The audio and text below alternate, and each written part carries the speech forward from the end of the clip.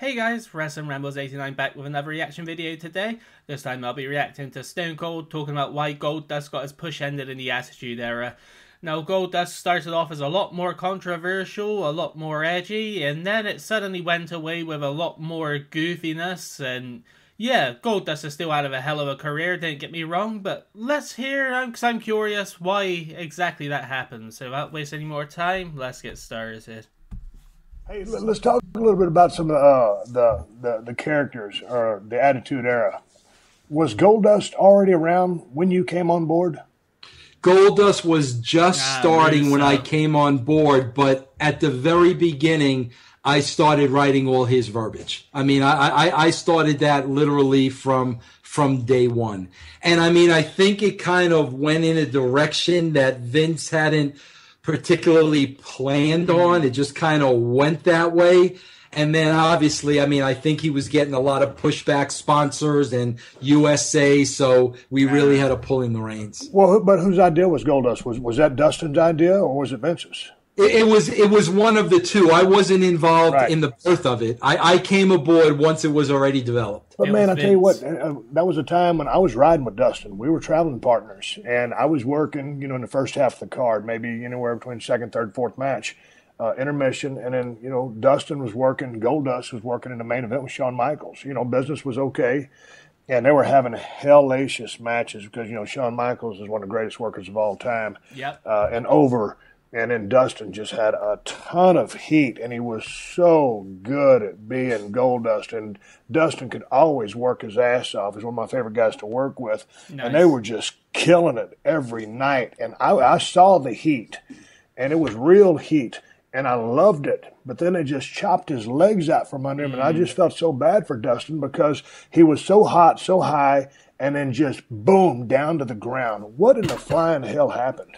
well, that's it, Steve. You know that that's the thing. It's like I wrote all the verbiage, so I would make sure it was all innuendo. It, it was one hundred percent, one hundred percent.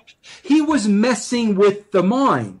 Yep. But what happened was, I think, especially like through Kevin Dunn and television, you know, they the, the letters started to come in, and this group and that group and the advertisers. And Damn. next thing I know, you know, Vince is calling me in the office and pulling back the reins, and I'm like, Vince, listen to what he's saying. It's innuendo. That's all it is. And bro, I felt the same exact way you felt. I was like, how can you do this to this guy? I mean, it's it's it's money. It's you know, it's the best thing he's ever done. Yeah. I guess you know, just business just pulled it way back. But yeah, but you know, to, to pull that back there and to, to move forward with some of the other things that we were doing. So it's like you, you, you stop one thing, but then you push the envelope in a different direction. Well, I, I think though, Steve, it, when the letters start coming yeah. in groups, yeah. I think that's when you start. Okay, we gotta right. Yeah. So, ha- have you watched the WWE product lately? Yeah, I've been watching it lately. Yeah. Okay, so now you know now he, he's back on television. Obviously, it's a toned down oh, deal. I'm, I'm, I'm at least glad to see him in, within oh, the current uh, roster because again, he's always one of my, been one of my favorite guys, and I hated to see what happened to his run back in the day.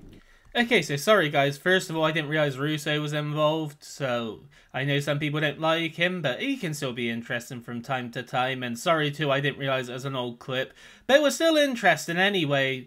Austin has always been a big fan of Dustin. He always loved working with him. I was aware of that already. I already think and know that Goldust was a great character. Dustin Rhodes always puts on good matches. He's still far better than he has any right to be in AEW.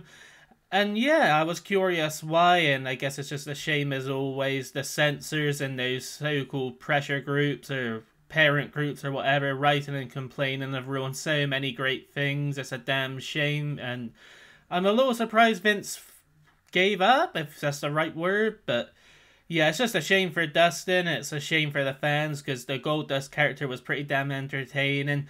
But credit to Dustin Rhodes, he made that gimmick work, and he certainly made it good again in the future, even after a bit of a rough patch after that. So yeah, I just thought this would be interesting for you guys. Thank you for watching. Hope you enjoyed. Be sure to like and subscribe if you haven't already. I upload new videos every single day. This is Wrestling Rambles 89, signing off.